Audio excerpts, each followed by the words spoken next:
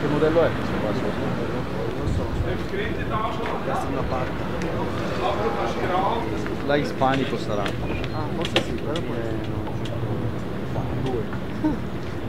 Schon mal bremsen geht, gell?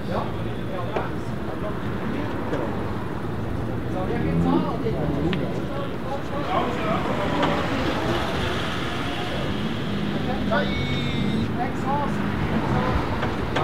Plätze, alle Nationen.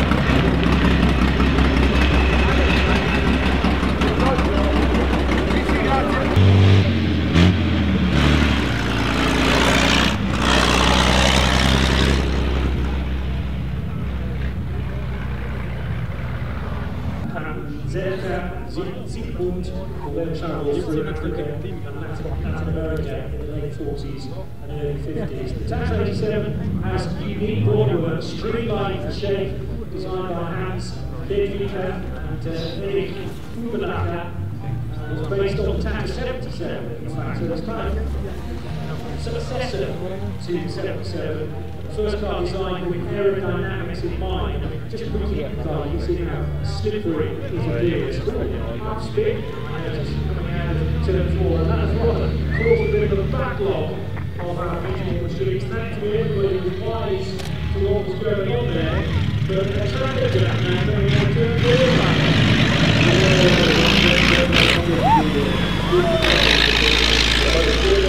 Che fu perfetto.